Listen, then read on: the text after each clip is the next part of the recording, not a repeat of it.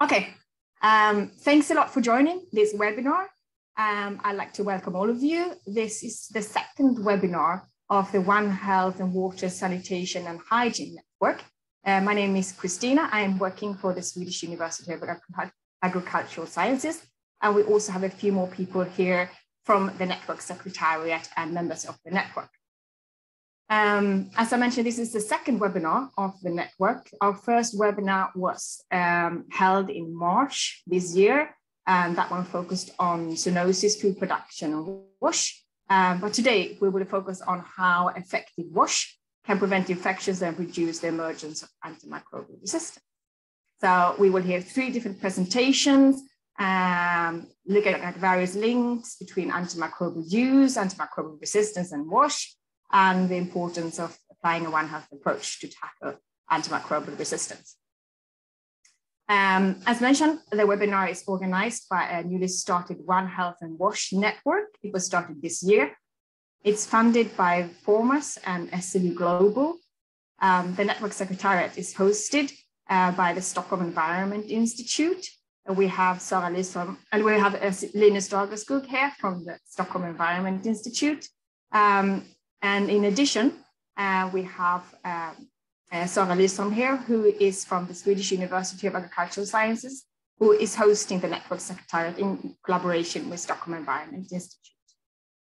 Uh, we also have collaborating partners from Burkina Faso, from Mozambique and Kenya in the network, uh, and our partners represent uh, academia, governments, and NGOs. Uh, and the network is holding a series of open webinars this year um, there will be another one coming up uh, in a few months' time, focusing on the environment. Um, some practicalities, uh, please keep your microphones muted throughout the webinar. Uh, we prefer that you post questions in the chat uh, and uh, you can post questions in either French or in English. Um, the uh, posted questions will then be read out to the presenters after the presentation. So we will open up for one or two present, one or two questions after the presentations and then we will have a session at the end uh, for additional question and answer. And you're super welcome to post your name, your affiliation and country in the chat so that we see who is with us today. That would be very nice. Uh, and as I mentioned, there is a link uh, in the chat to the web page of the network uh, where this webinar will be posted and also where our first webinar, uh, the recording for our first webinar is posted. So with that, I would like to start with the presentation. Um, first, we have our first speaker is um, uh, Dr. David Sutherland, who is an environment health professional and is working as technical officer for the Food and Agriculture Organization of the United Nations. Um, he has worked many years in water sanitation and health for WHO um, before moving to project tripartite coordination on One Health and has also been acting coordinator for the AMR Multi Trust Fund. Um, they will provide an introduction to effective WASH to prevent infections and reduce the emergence of AMR. David, please, the floor is yours. Thank you very much. Good morning and good afternoon, everyone. Um, I hope my voice is going to hold out. I have a bit of a, a chest infection, but um, uh, very nice to be with you. Um, just bear with me while I get the um, technology sorted. Okay. So um, thanks, Christina. Uh, as Christina was saying, I've, I've um, worked quite a lot with WHO and FAO and the quadripartite over the last few years, um, initially in WASH and environmental health, um, and the last four years on One Health and, and AMR. So a lot of what I'm going to be sharing with you is, is from the organizations that I've worked with, but the, uh, the comments, uh, the, the stresses of the, the presentation are sort of my own personal ones based on uh, experience. So just going to really give an oversight first, sort of uh, going through the, the problem um, as far as WASH and AMR is concerned uh, just um, showing what WASH is uh, within this context and what WASH has to do with AMR um, and what does improving WASH require in the context of AMR and One Health. and then just a few examples of kind of things that are, are going on to uh, try and address the situation. So as we all know, the AMR situation is really quite serious, according to the GRAM study that was published in the Lancet earlier this year. AMR is thought already to be the leading cause of death globally, with low resource settings having the highest burden. And they're going forward, the financial and the uh, social standing of millions uh, is really going to be quite serious. And there is really growing concern on the impacts of AMR to animal health and welfare, to food security and the environment. It's really being driven by increased resistance and increased infections. Uh, worst case scenario by 2050, a doubling of infections without any kind of controls in place. And there are many common infections like urinary tract infections, pneumonia, bloodstream infections are without uh, effective treatment life-threatening and increasingly becoming resistant. The diagram on the right uh, is, is adapted from um, a report of the Interagency Coordination Group uh, on AMR. And whilst you can see on the top two boxes, the main areas are overuse and mis misuse.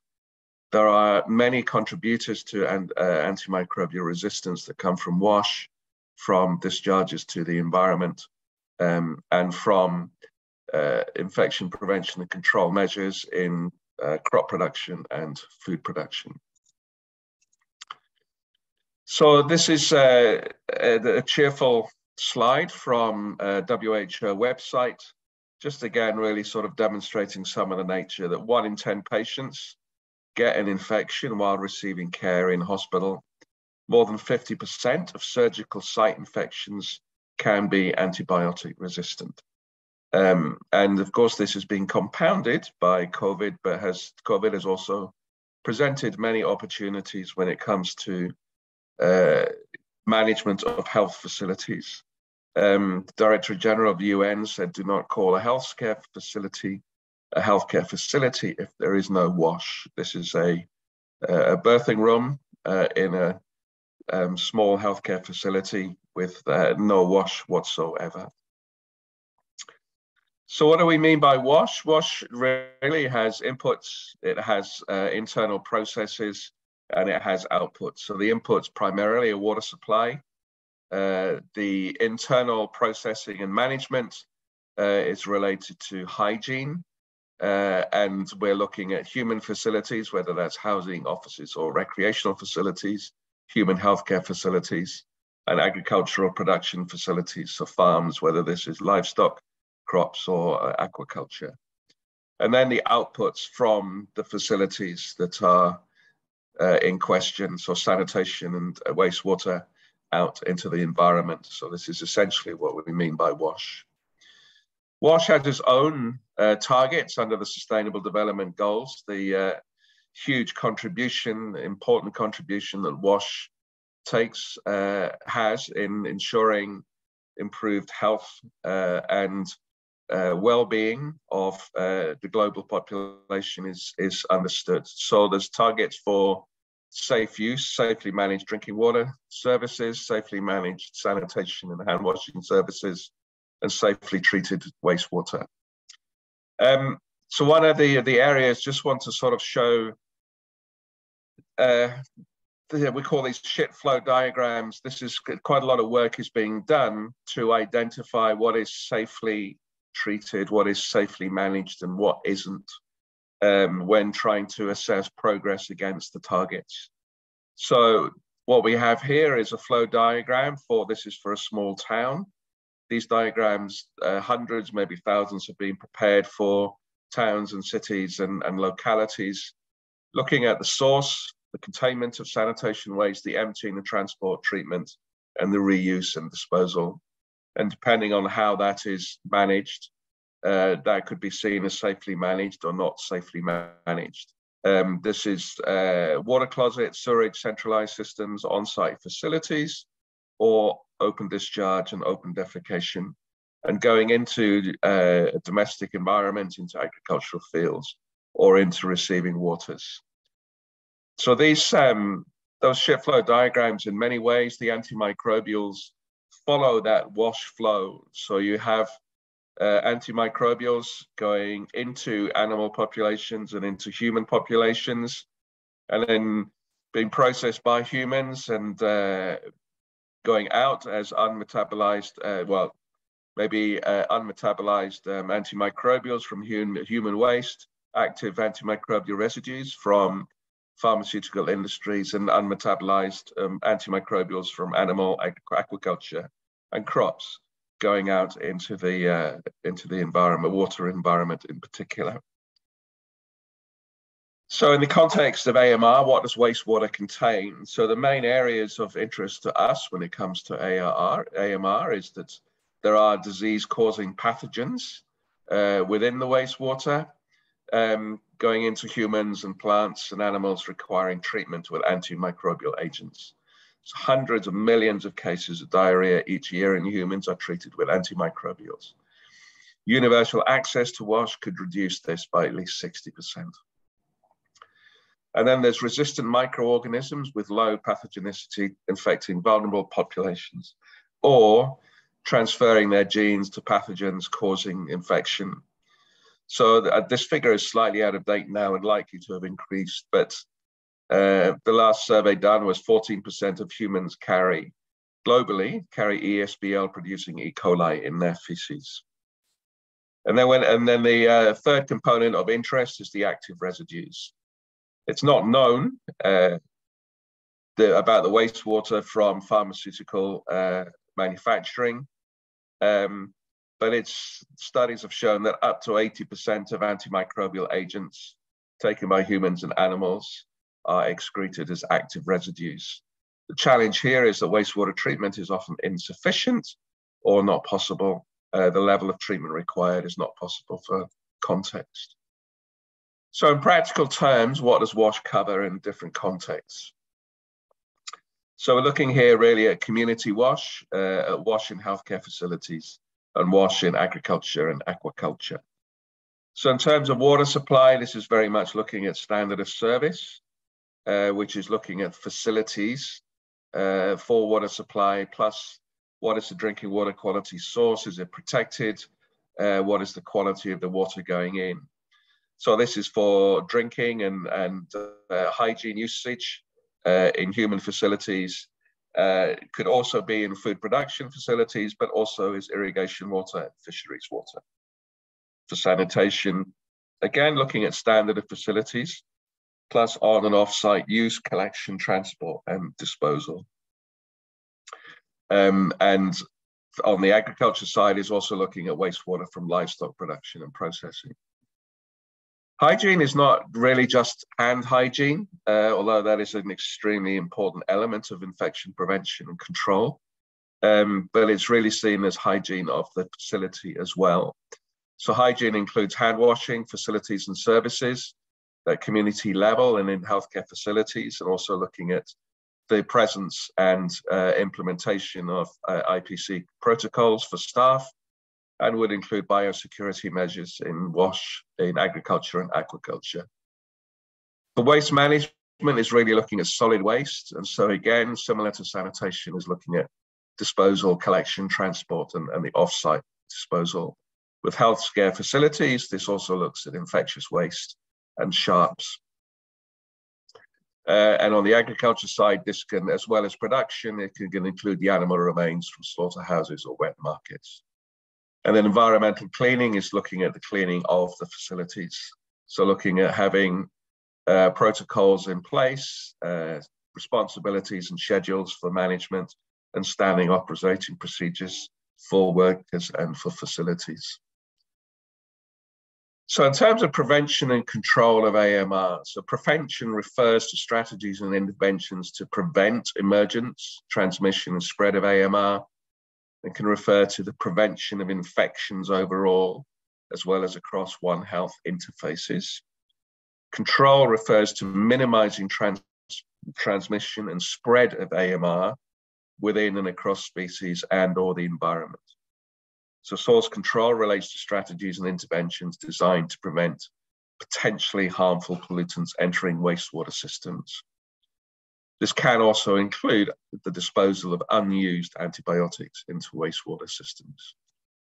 I think a lot of us are familiar with the, the concept of, of One Health.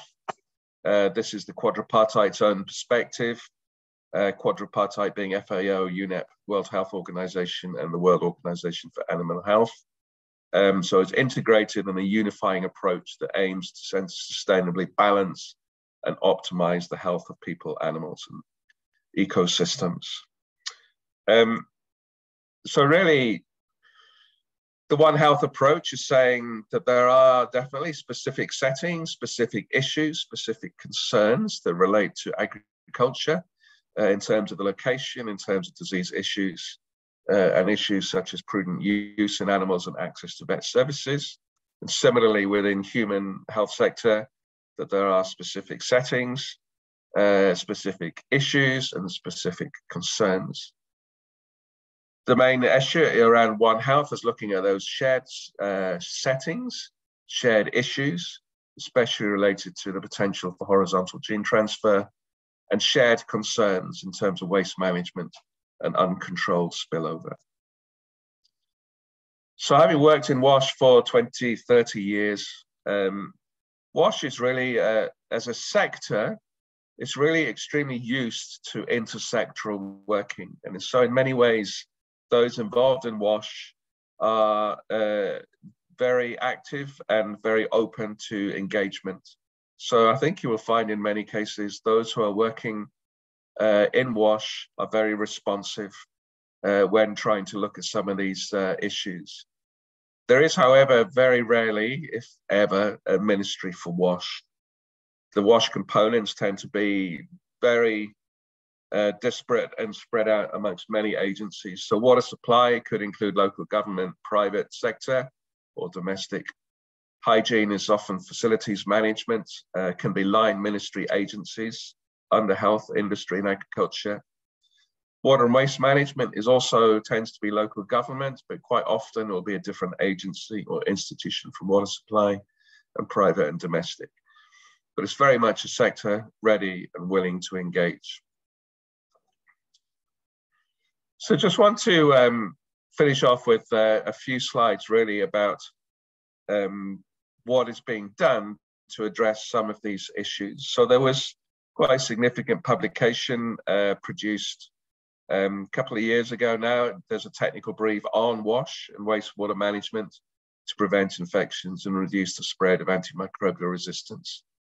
So this is um, uh, available on the WHO website and uh, I think uh, on other quadripartite sites as well. Um, and there are various other pieces of work that have been done by tripartite and by tripartite partners um, on issues around uh, AMR in um, environment, crops, and biocides, on AMR relevant legislation, uh, on impact of the climate crisis and how that affects it, and uh, environmental dimensions, as well as specific management tools and reporting for facilities such as uh, WashFit and the practical steps for WASH uh, in healthcare facilities. So there are many uh, initiatives for working with um, healthcare facilities, and these have been very much stepped up as a response of COVID and the recognition of the importance of all sorts of measures to prevent the spread of infection and the management of hospital waste. So in many ways, COVID has been a huge burden, but it has demonstrated the huge need for dealing with these issues at facility level.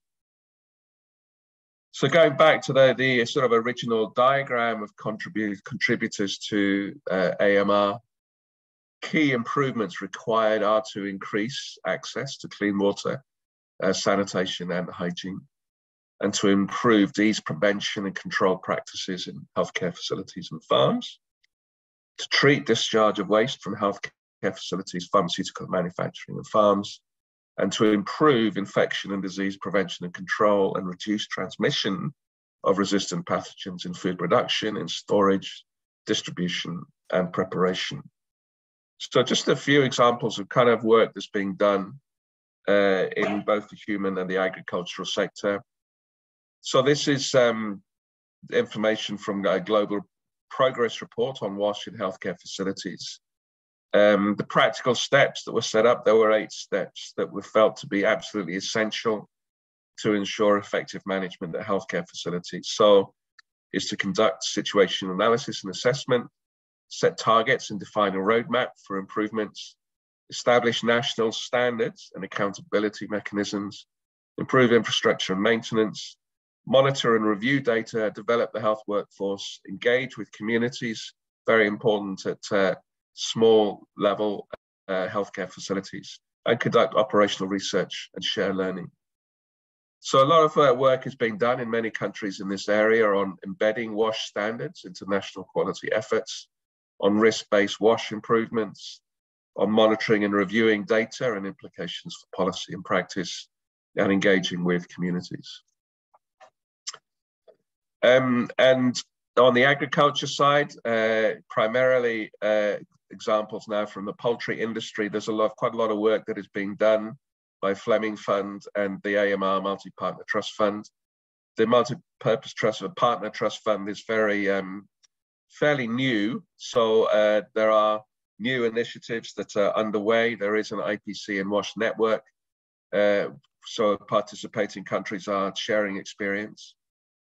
But some work that has been started and is getting going is, is from Indonesia, where FAO RAP drafted and the government in Indonesia finessed uh, an assessment tool, which was a merger of WHO's infection prevention and control assessment framework and FAO's layer farm assessment tools. And importantly, this was used as a starting point for national certification of uh, production facilities. In Kenya, um, farm biosecurity guidelines for dairy, poultry, and pig value chains uh, have been developed, and veterinarians and paraprofessionals have been trained on their use, and also given instructions and guidance on how to disseminate those guidelines to stakeholders within their respective networks and areas of responsibility. And in Zimbabwe, farmer field schools are used to promote adoption of good animal husbandry practices. This is improving biosecurity and the hygiene standards in broiler value chain. So there's a lot of work that is sort of getting underway, uh, and and there is uh, there are other countries that are interested to participate and are uh, developing in this area. So that, that's it really from my side as an overview. Um, just want to give you a, a quick advertisement for, uh, not, I'm sure most of you may have seen it, but in case you haven't, uh, the quadripartite is starting later today uh, at 2 p.m. Central European time, a series on antimicrobial resistance in the environment. Uh, so it'll be a webinar series. I think it's a four webinars. So the first one is understanding the basics for national action. So this will go into a lot more detail uh, than I have done. Um, I think it's a one and a half hour uh, webinar and a substantial presentation on the basics of environmental AMR and the risks and the overall principles and terminologies, um, understanding of key sources and approaches to prevent control and strategies to strengthen the involvement of environment. So I would uh, strongly recommend that uh, as um, more detailed uh, follow-up to this presentation. That's all from me for now. Thank you very much.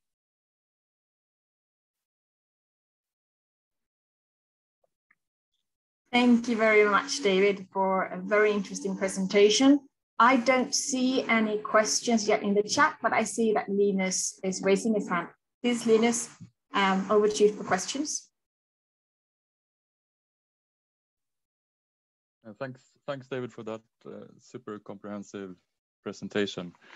Uh, I'm uh, from the wash uh, wash sector and also working with the uh, increased uh, reuse and recycling circular economy uh, field at the moment. And, you know, the, I mean, it's concerning that we have these active residues in, in human excreta. As you said, up to 80% of the antibiotics are found in, in the urine and, and the feces. And then different sanitation systems either will transmit these active substances to water or to soil if, if we if we recycle. Could you say something about what happens to these active residues in, in water or in soil if there would be a preference to, to have it to soil uh, compared to water? Uh, very, very good question. Um, I mean, neither neither is uh, ideal. I mean, I would have to say that the eighty percent is very much uh, an, an, estimate, um, and but I think really what we could say is that um, a significant proportion is there as um, active residues. I think one of the issues is is very much about the the half life um, of the the residues, um, and that would have an impact in terms of of management. It's, I, I don't feel confident to give you a specific answer, as you can probably tell by the way that I'm speaking. I would encourage you to attend the meeting later in the day, where there are some significant experts uh, there who would have more uh, information uh, to give on that side. But I think um, certainly, I think that the there are a whole series of symposia that have been going on over the years on the environmental dimension of AMR. And a huge proportion of that work has been on agricultural waste. The last one was in Hong Kong, the next one is in Sweden later this year, and a whole series of fascinating papers that came out of that. Now, an awful lot of that was looking at the impact of uh, composting and of uh, effective sort of treatment before uh, putting onto soil and to contaminating, uh, uh, to um, fertilizing uh, crops and, and, others. So I think that there is certainly a strong argument for containment before uh, going for um, fertilizing and, and use on that side. But I can't give you a definitive answer, I'm afraid. Three, three hours time, you'll get a much more definitive answer. Thanks a lot, David. Uh, we have uh, two additional questions in the chat. I think we can group them in one. Um, it's uh, uh, one question about if is the sanitation safety planning tool a good approach to AMR for small towns and rural areas, especially, and also a follow-up question: Is the sanitation safety tool same as the Wash Fit tool for healthcare facilities by WHO?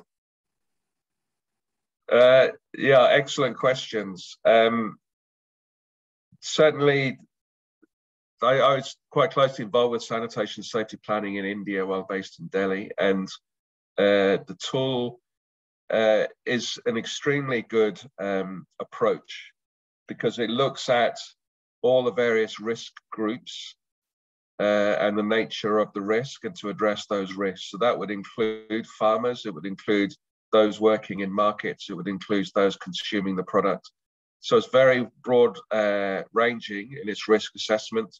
So it's uh, extremely good. We were doing, uh, one of the areas where we were doing some training and piloting was the East Kolkata wetlands. And what was really interesting there is that there was a wastewater treatment plant installed. And farmers were begging uh, the operators of the wastewater treatment plant to release a significant proportion of the wastewater in an untreated condition because it's an extremely valuable resource before it's treated. By the time it's treated, an awful lot of the nutrients and goodness is has gone. So as well as the uh, the pathogens uh, and the um, uh, antimicrobials, you also have many many good things in there. So it is a it is a real challenge, and with the increase in fertilizer prices going on now, the the free fertilizer that comes from wastewater is, is hugely attractive to farmers. So it is a real challenge, but the sanitation safety planning definitely identifies the risk groups and the nature of the risk. So yes, they are very good. And it's a similar approach. WashFit is similar in many ways in that you are identifying the, the risks and then you are seeking then how to manage those risks. Thanks a lot, David. I think with that, we don't have more time for questions right now, but I know that you're staying with us until the end. And we hope yeah. that there will be some additional time for questions at the very end uh, of, of the webinar. Um, so thanks a lot. And with that, I would like to move on to our next presenter, uh, which is Dr. Inocencio Chongo from the National Institute of Health in Mozambique. Um, Dr. Inocencio is a veterinarian. He is also a PhD fellow in tropical diseases and global health. Uh, and he is coordinator for the National One Health platform in Mozambique. And Dr. Inocencio will present to us uh, antimicrobial uh, use in intensive farming and resulting resistance in the environment in Mozambique. Saw you already started with your presentation, Inocencio. Please move on, and the floor is yours.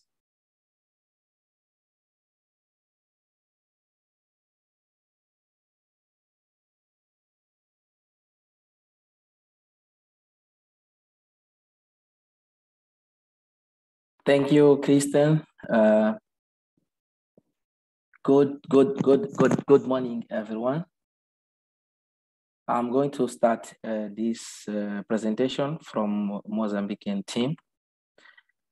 This is real uh, about sharing uh, the small uh, stats that we have regarding to the antibiotic use in intensive farming uh, and the resulting the resistance in the environment.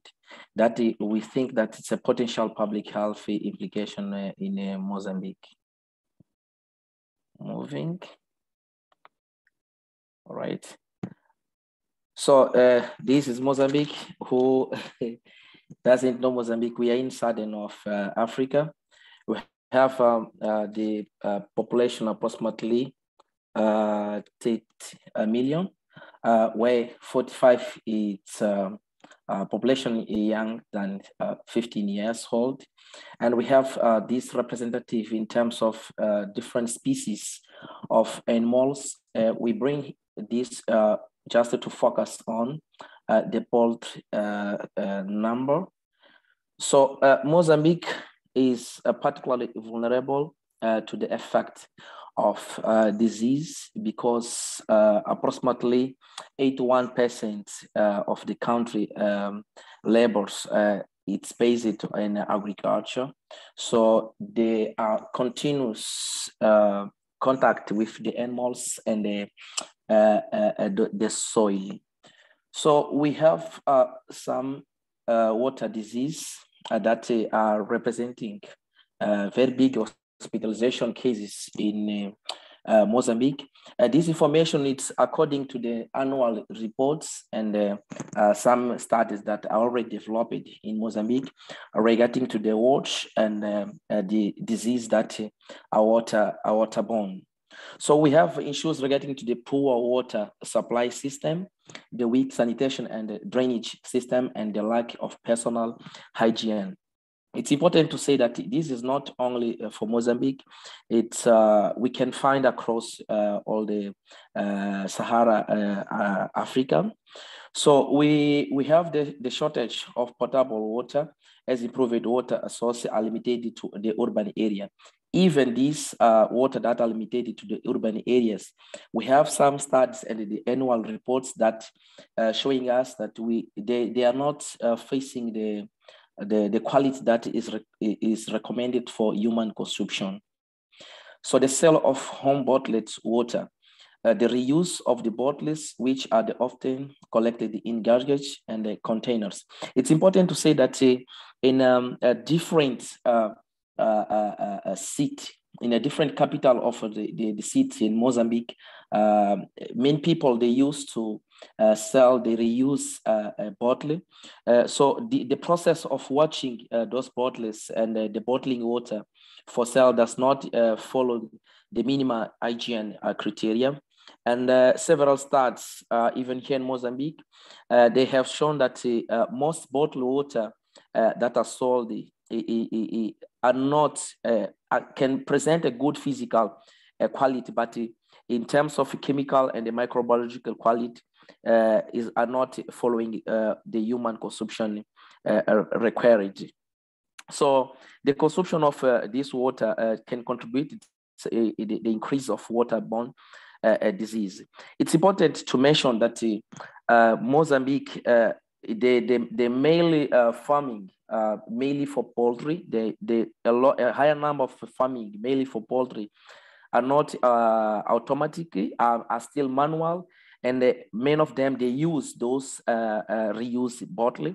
So increasing the, the, the, the uh, higher rates of occurrence of the disease in the animals. And consequently the use of a uh, antibiotics to uh, treat the disease. So we have another issue regarding to the proximity of people and uh, uh, the animals. As I said, that 81% of people, they practice agriculture and they use the animals uh, to prepare the soil. So we have issues regarding the climate change. When we talk about climate change, we know that Mozambique, for example, was hit by the two cyclone in 2019. And uh, many of uh, uh, uh places out of the seats, uh, mainly in the rural areas, uh, they use the water well supplies to have the water to, to drink. So during this period, there are risk of, of water contamination and uh, risk of developing the waterborne disease. Um, so we have issues regarding to hygienic food preparation and uh, consumption uh, uh, practice.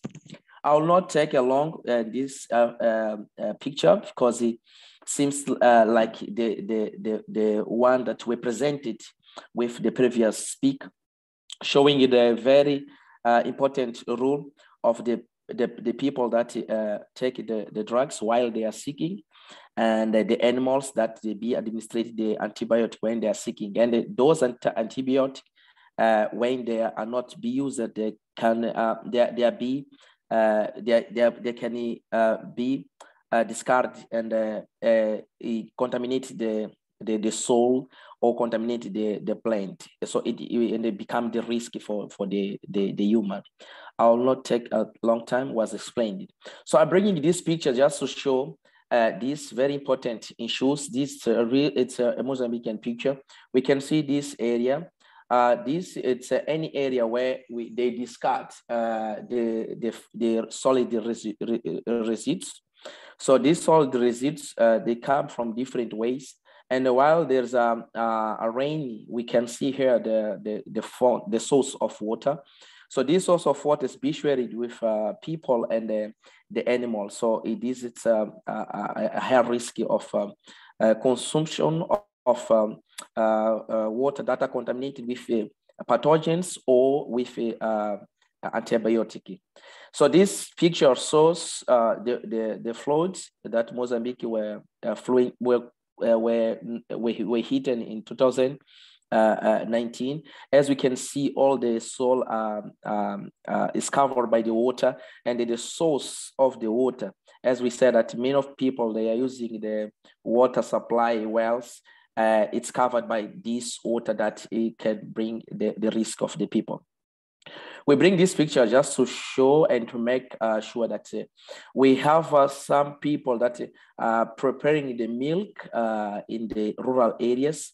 And uh, we can see uh, this milk is prepared in the field and there's no very good condition of the water. So they are using the, the water that are coming from the, the wells and increase the risk of uh, antibiotic uh, uh, resistance. So this picture, it's a real picture that we took and uh, unfortunately I can't uh, show the source of the water. So sometimes uh, those people, when they are selling the chicken in the market, when the chicken are selling the chicken in the market, they, because of the lack of information, they, they are using antibiotic uh, in the drinking water for the chicken and the chicken are sold for the people. The same thing uh, occur in the goats as you can see uh, in this uh, picture. Those pictures are taken from uh, any, any, any, any municipal market. Uh, we have issues regarding to the floods. As I said, I mentioned before that Mozambique it's uh, currently hit by the, the cyclone, and we have um, the condition of the contamination of the the the the, the, the source of uh, uh, the water. Uh, we have some study that uh, shows us that many many many uh, well supply, many water well supply were contaminated and uh, we, we they found a higher rate of uh, coli in that well water. So we are coming to the Uh, antibiotic uh, uh, resistance. it's better to say that, as we know, all of us, the antibiotic they are being used in the human or in the animals so in the animals, uh, many of them, they are using for the disease treatment or some they are using for the growing the animals. Unfortunately, this it's common in uh, many developing countries to use the antibiotic for uh, uh to promote the growing of the uh, animals. So in agriculture, at the global level, um, we found uh, uh, the class, the same class of drugs that um, are used in the animals, like tetracycline, um, beta lactams, etc., etc., are the same that we we find in the in the in the in the in the human and the animals. So uh, we have approximately 700,000 people that are dying uh, each year. And if we don't control this, uh, the, the, the, the estimated uh, for 2050, showing that the number they will it, will it will increase. So Mozambique applied uh, to develop the national action plan for antimicrobial resistance, and uh, we have those strategy objectives. We highlight this that say that we the reduce of the incidence of infection through effective sanitation, hygiene, and infection prevention uh, measure.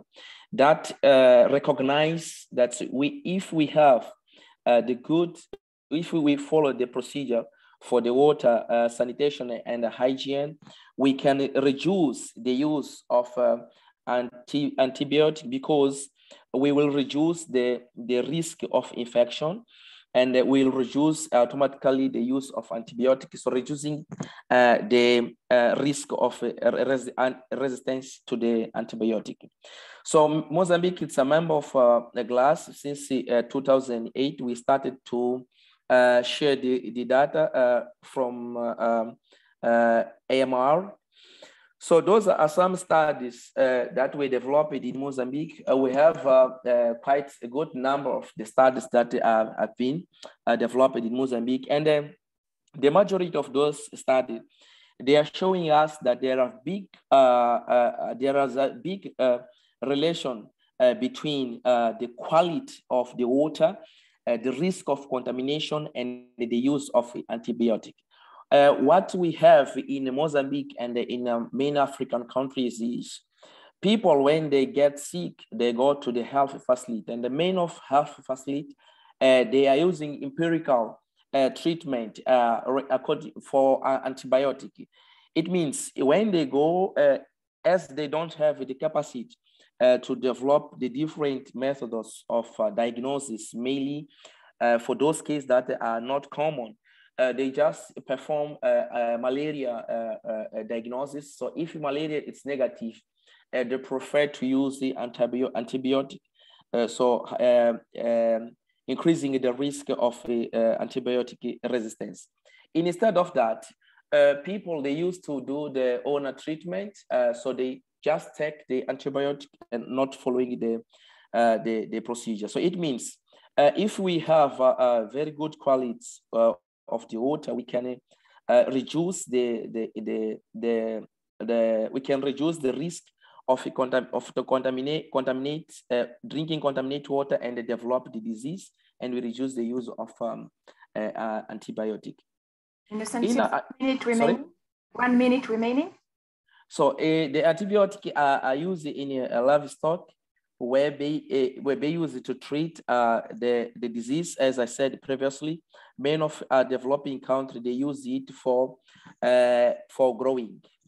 So uh, we, we can find this, uh, uh, this antibiotic, it depends by the food of animal, the intensive and extensive farming. It's important to say that Mozambique is not so well for intensive farming, but for poultry, uh, different people, they use the intensive farming, it that increase the use of antibiotic. antibiotic. Uh, we have commercial and industrial. In Mozambique, we, we are doing the same. and uh, we have uh, the, the lack of clean uh, legislation. It means we have the documents that people they need to follow for, to use the antibiotic, but not all of them, they are following it. This is a start that we developed in Mozambique that's a focus, focusing uh, on uh, our, our, our, our workshop that shows us the resistance that we found in a different, a different place in the supermarket, informal supermarket, uh, or, or, formal supermarket and the slaughter, the slaughterhouse. Uh, those results show us that there's a, a resistance that, that uh, anti a resistance that are coming from the consumption of or the use of the antibiotic that are the same uh, group that be, can be used in the uh, animal. So it's important to say that the, the article mentioned that mainly this uh, contamination can be related with the type of the water that will be used during the production in the in the in the in the farming. So those are the the results that show us that up to 50 percent uh, they found the uh, the, the, the is resistant to the this group of the the farmers. So we had um, uh, in, for the supermarket showed the higher resistance uh, profiles uh, than the slaughter's house, and there is no difference that were, were noted. In conclusion, we would like to say that the, the antibiotic are good to be used, but we need to follow the procedure uh, that can come from the veterinary or that can come the medical doctor and we avoid to use the antibiotic by uh, uh, ourselves because we can uh, pollute the, the environment by discarding the antibiotic or by using, not using well this antibiotic. This is what we would like to present for Mozambican team. Thank you. Thank you very much, Inocencio. Very interesting and comprehensive presentation. Uh, well, I think we have time for one short question. I don't see any questions in the chat but there might be someone in the audience uh, who wants to ask a quick question.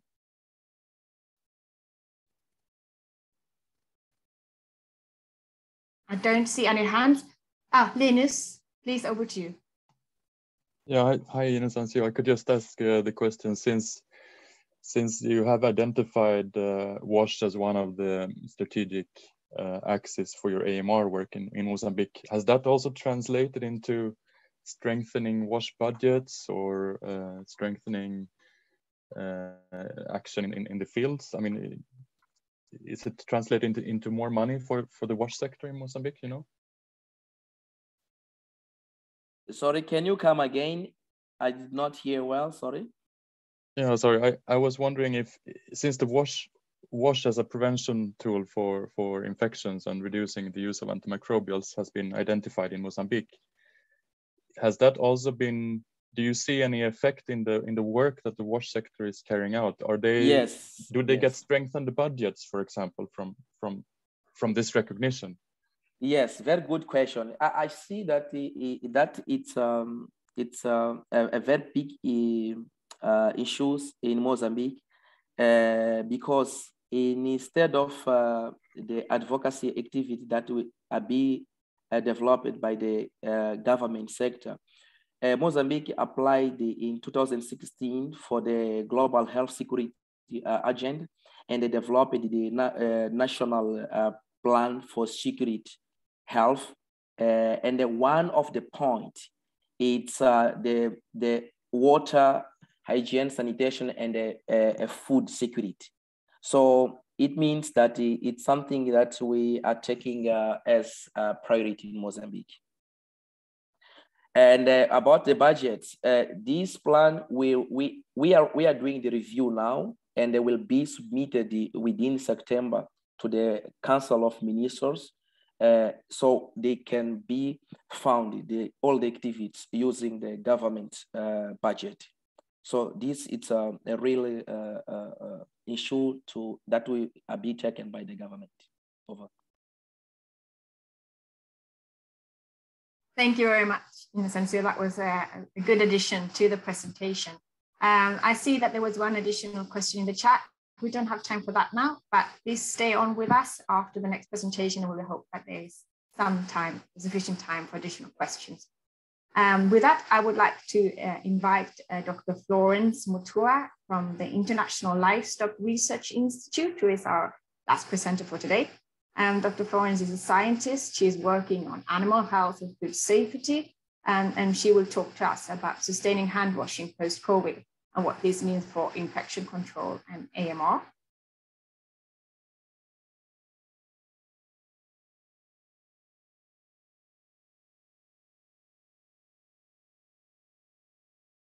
With that, I would like to say over to you, Florence. Thank you, Christina, for that uh, uh, introduction. You will allow me to put off my video because of the connection. Yeah, so my talk is about um, sustaining hand washing post-COVID and what this means for infection control and uh, AMR. So as a way of uh, saying how my presentation will flow, I will have a small introduction, which I will just be very brief because much has been said by the previous presenters. And then I'll give some highlight from the, the work we did on COVID-19 mitigation and implications for food safety. A few slides on the hand hygiene and tie that to antimicrobial usage and AMR, and then uh, one slide on uh, to conclude. We know that AMR is a, is a, presents significant threats to public health uh, uh, uh globally. And the burden has been uh, demonstrated and shown in previous uh, studies. And we know that from the Global Action Plan on AMR, reducing the incidence of infection through effective uh, sanitation, hygiene, and infection prevention measures is one of the key points highlighted there.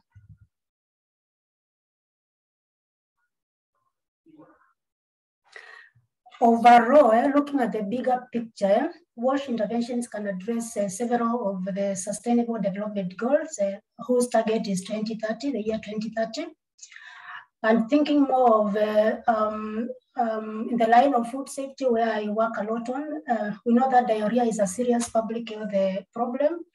this is more of a problem in, especially a problem in developing countries. Um, but the good thing is that we know that hand hygiene um, can reduce diarrhea episodes.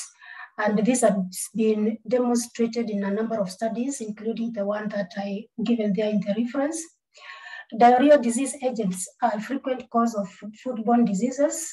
And we know that based on the studies by the World Health Organization and the World Bank, the burden associated with these diseases is quite huge um, and is more affects the um, uh, developing countries, especially in Africa, regions in Africa and Asia, and is more also uh, in children under the age of five years. Um, so there is that uh, uh, not equal distribution when it comes to the, the burden of these diseases. Next slide.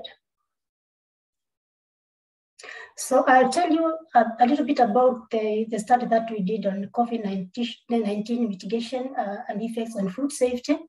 I'll start by saying that uh, COVID-19 is not transmitted uh, through food. There has not been any evidence to, to link that so far. But we know that uh, frequent hand washing, social distancing, and face masks uh, were among the available strategies that were promoted at the time when this problem started. And at the same time, we know this helped a lot in containing the spread of the, the infection as more work on the uh, vaccine uh, studies uh, continued. So our study looked at how enforcement of the COVID-19 mitigation measures impacted on food safety uh, in the region of East Africa. So we, we contacted uh, food, food safety experts in the region. Um, these are experts we had worked with in previous uh, food safety projects here at ILRI uh, we were able to book appointments and interview five experts from this out of the six uh, experts that we worked on in the countries. We were not able to talk to people in uh, in Rwanda, um, and as, a, as, a, as a summary of what we found out from this study, I leave out the uh, the problems that are touch on the bigger food safe uh, food systems disruption, and just focus on the ones that are on food safety. So one of the things that we came up was um, uh, linked to food safety was the issue around bulk purchasing during that time. And this was a problem because uh, people did not have enough spaces to store the products. And then also the issue of uh, having untrustworthy suppliers. Um, these are people that, uh, the suppliers that uh, made it um, increase the risk of consumers buying foods that were not safe and therefore um, increasing the risk of getting foodborne uh, infections. And then the issues around transport delays, and this is especially the, the transport and the border points, um, because the, the people that were transporting transporting these products needed to stay for a long time to do the COVID testing. And then also again, um, the disposal of products that got spoiled, it wasn't clear how that was uh, uh, dealt with. And then of course, because of working from home, there were limitations in ensuring the usual uh, food inspections were done. So uh, my, my talk is more on the, the, the, hand washing. So I picked a few of the things that came out relating to hand washing and hand hygiene. So for example, in Kenya, there were regulations that uh, businesses, uh, especially the food outlets, including the food outlets and the restaurants, needed to install hand washing facilities. So it was a must that they do that. And then also we saw a lot uh, um, um, from the government, both the national government, but also the county government and partners uh, coming out uh, and providing water tanks just to facilitate and make it easier for people to um, access water and therefore wash their, their hands. So these are just a, um, uh, some pictures and materials that I got from uh, online resources as I was preparing for this uh, presentation.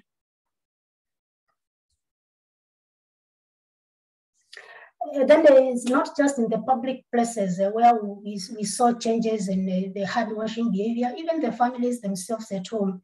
Uh, we, we got a, some experts saying that some of the families were, were keen on installing hand washing stations in their homes. And this was more so for them to wash hands, especially when they go out of the compounds and come into the, to their homes. Sanitizers were also uh, recommended and mentioned uh, by these experts, uh, but they were thought to be expensive, especially to the uh, low-income uh, uh, categories. In Burundi, um, there was a mention of the government coming in with the, the, partners and trying to lower the cost of the, the soap, just to make it more accessible because it doesn't make a lot of sense to um, pass the message that people need to wash their hands thoroughly with the uh, running water and soap when the soap itself and other ingredients that are required are not available. And then there was also indications that uh, the informal markets were not well supplied with, again, with the water and soap. So it was difficult for the uh, for people living in those settings to be able uh, to, to be able to uh, practice proper hand hygiene uh, and washing. And then also there were mention about compliance issues, um, including even people coming out and refusing just plainly to wash their hands when requested to do so by people manning these uh, hand washing stations, especially in the public places. Uh, and also some of them using the water for non-intended uh, purposes, although good purposes. Like for example, people, I think there was a mention of uh, people wanting to just wash the, to use the water provided to wash their hands when they are going to eat, but not for frequent uh, washing of the hands while at the markets. And then, of course, in, in, in, Kenya, there were complaints over the management of the, the water tanks that were supplied by this uh, national government uh, because it wasn't clear who, whether it was now still the national government who was supposed to take care of these water tanks or it was the county governments who had to take care of the tanks that the, the national central government had provided. So then, uh, then uh, specifically on the hand hygiene itself, uh, this slide is just to highlight the, that there are many opportunities that our hands get contaminated uh, with the pathogens that uh, could impact on our health, both at home, um, in school, in hospitals, and other places. So this uh, slide was just to demonstrate that, uh, just to say that uh, hand washing uh, is an opportunity to present an opportunity to break the transmission of these uh, pathogens.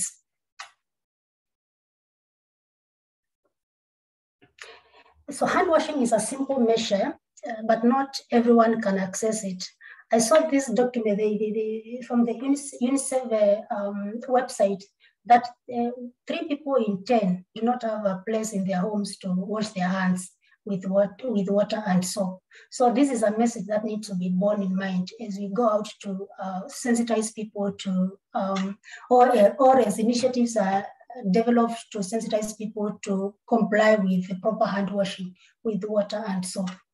And then I, uh, my little search on the internet, I found that there are quite a number of uh, um, initiatives meant to encourage or promote hand washing behavior. So one of them is the Global Hand Washing Day. I, I, I wasn't able to know to, to confirm whether that is um, the, whether this is the same one that I, I think was celebrated uh, this year, or I saw it was celebrated this year, and uh, May 5th.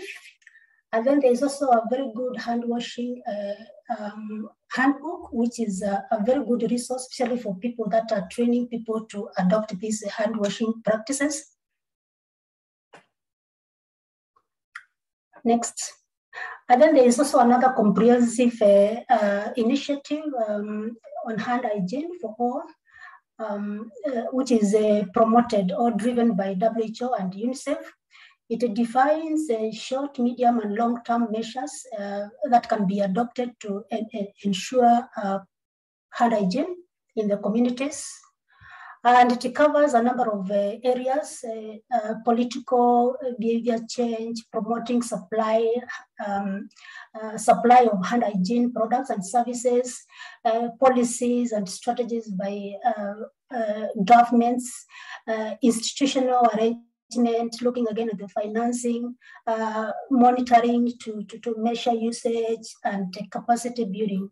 And this, uh, what this initiative uh, covers is uh, hand hygiene, both at homes, uh, schools, healthcare, public places, uh, places where we work and other places. So it's a quite a comprehensive document and I put a link there for those that might want to read more about, about it. I am not so sure how much has been done that, but maybe uh, people in the audience uh, are more familiar with the initiative. So as I, as I um, just about to finish, I just want to say that uh, frequent hand washing with soap can reduce risks of infection and lower transmission, uh, disease transmission rates, and therefore avoid unnecessary use of uh, antimicrobials. Again, antimicrobial use, we know is a key driver of uh, antimicrobial resistance. But uh, I think what is missing more is uh, just emphasizing on the linkage between AMR and hand hygiene and clarifying that, especially to those that are promoting uh, this. And then AMR is best addressed through One Health approach. I think David clarified that. So hand washing should be promoted as an approach that can be utilized in, at all settings to prevent spread of uh, infection. And I take note that the um, hygiene is not just hand, uh, hand, hand hygiene, but also the, the, hygiene, the, the environment where all this is happening, as mentioned earlier. So just to, to conclude, I would just I want to say that uh, um, the level of hand hygiene which we all witnessed during the pandemic, is what we are proposing to prevent future uh, pandemics or uh, disease outbreaks, but also ensure um, um, we prevent also uh, other infections, including the ones that are related to food safety. So already we have seen that there is a rich resource base which we can use or which can be used to promote hand hygiene. The ones specifically for hand hygiene, but also the ones that David explained overall on the, on the wash. So to address AMR, we need to prioritize hand hygiene as we do for the other wash uh, uh, intervention. And we need to think different because the, this is something that is so close to us, yet not so many people have access to it. And we need to consider approaches that um, particularly encourage uh, behavior change uh, at home, in communities, hospitals, and other places. Um, there was a list that I gave earlier from the one of the initiative. I think prioritizing uh, what should come first in that list will be key so that uh, as resources are limited, then a, a key target starting point can be realized. And I think that was my last slide. Uh, so thank you so much and over to you, Christina. Thank you a lot, Florence, for that presentation. Um, I haven't managed uh, to follow the chat. Uh, if there are any specific questions, I think we can now take a few questions for Florence first, and then we can open up the floor for additional ones. Um,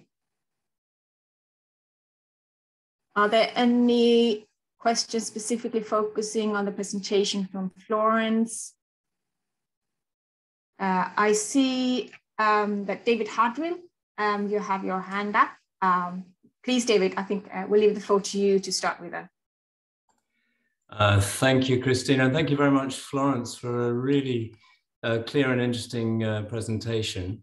Um, and I, I, work in Myanmar and I work in the animal health sector. And certainly during the pandemic in Myanmar, we saw some really good initiatives to encourage um, better hand hygiene. You know, even communities widely putting up hand wash basins at bus stops, for example, with uh, running water and, and soap. And that was, that was good.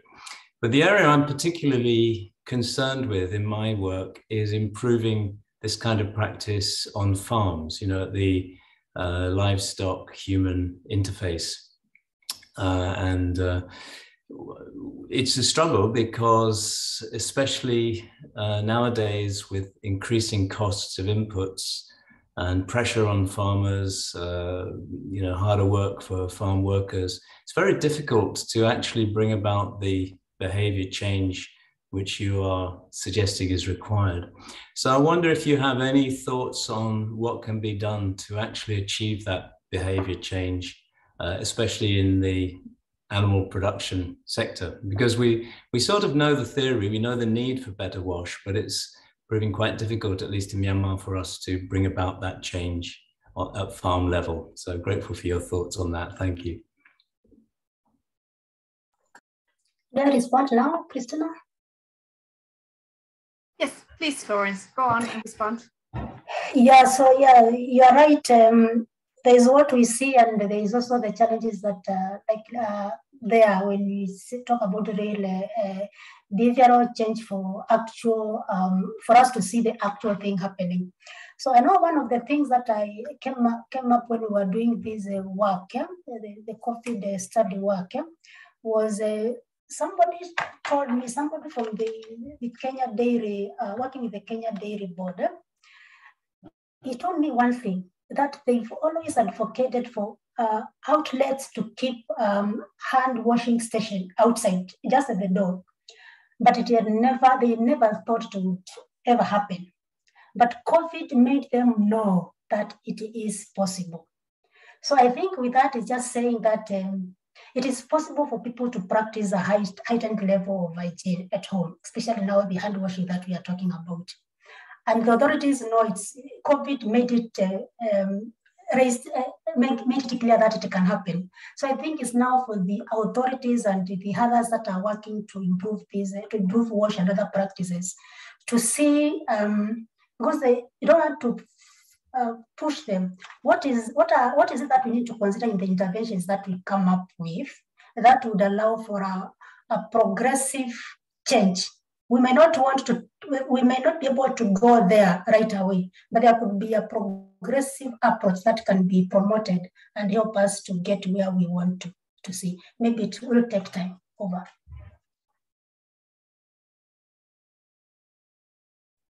Thanks a lot, Florence. I think we are, we are all struggling with behavior change. Uh, how do you bring about that? Uh, how do you make sure that uh, your target audience is seeing the incentives uh, for changing their behavior. Um, we have additional questions in the chat, and I'm now opening up to all our presenters. Um, we have a question if there is a cost-effective way of testing for AMR at processing and consumption points. Um, I don't know um, if uh, David and Inocencio Florence, if either of you would like to respond to that question.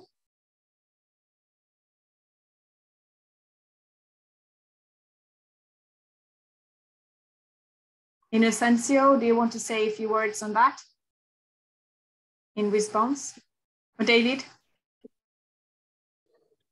Yeah, I just wanted to make one point. I had actually deleted a slide to, to save on time. Um, but the big challenges that we have in water resource scarce areas, there's so much of WASH is interlinked. They're not separate things and that in order to have effective hand washing, you need to have water. And without water close to the point of use, then it is really difficult to to uh, to manage. So it, it's really a general point, not necessarily specific to this uh, the the farm point, but really um, it, it's a real challenge in some areas where water is is is in short supply to, to manage hand, hand hygiene. Uh, and it's really, to make hand work, you need water as close to the point of use as possible because we're all quite lazy and we don't want to walk anywhere to get hold of water. But uh, yeah, so it's just a general. Thanks, David. And I know that there are some trials there to make sure that you can pass by or you have to pass by the hand washing station and that will that will kind of remind you to wash your hands. I mean, there are ways to building uh, more um, frequent hand washing uh, in facilities and so on. Uh, but I think there's much more that can be done on, on improving the access to the hand washing. Inocencio, do you want to say a few words on, on testing for AMR processing consumption points? Yeah, yes. Uh, hi, Christina. Hi, everyone. So we we we we don't uh, have any testing for AMR at the processing or consumption uh, point uh, right now. Yeah, we don't we don't we don't have we don't perform here in uh, Mozambique, so I don't have a, a quite experience. I don't know if it, Diocleciano, I think it's here in the call. It needs to comment on. Dio.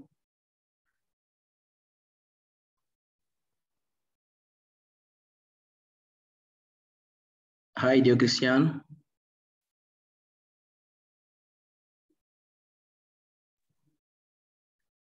There seem to be no response. Yeah, yeah but we, we, we, we don't have uh, any experience regarding the testing for MR at the uh, construction uh, point.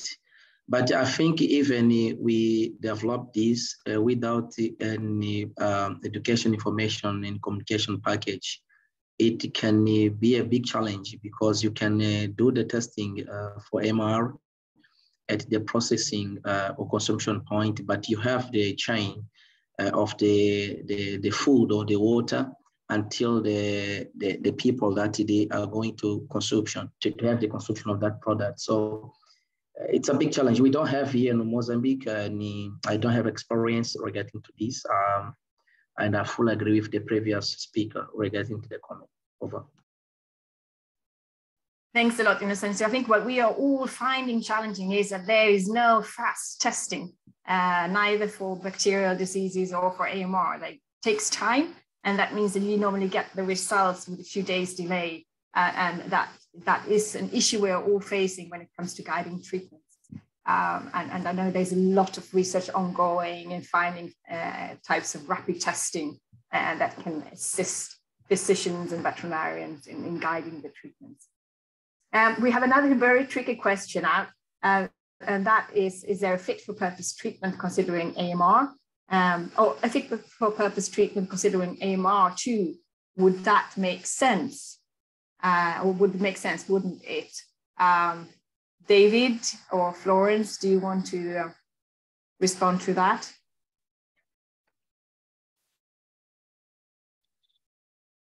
Um, well, yeah, excuse me. It is a tricky question.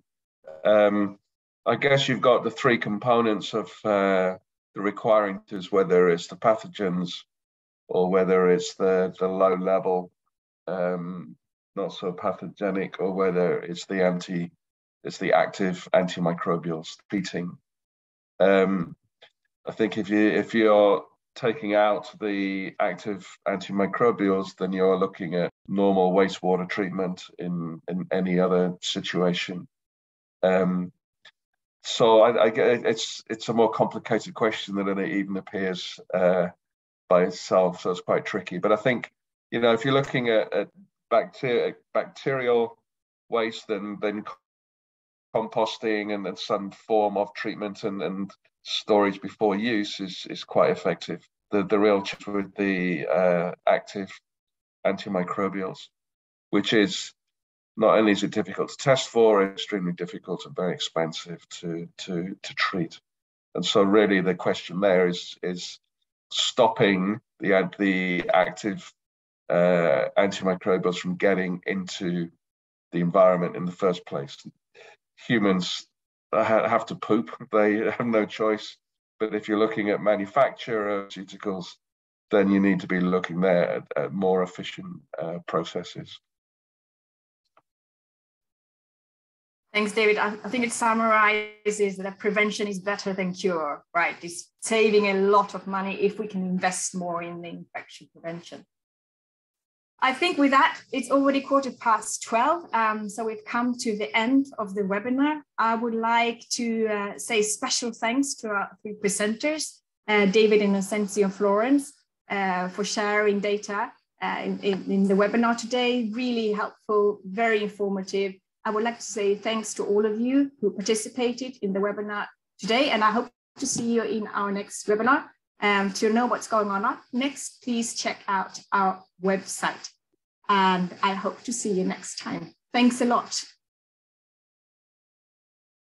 Um, thanks. Bye. Thank you, Olof. Bye. Thank you. Bye.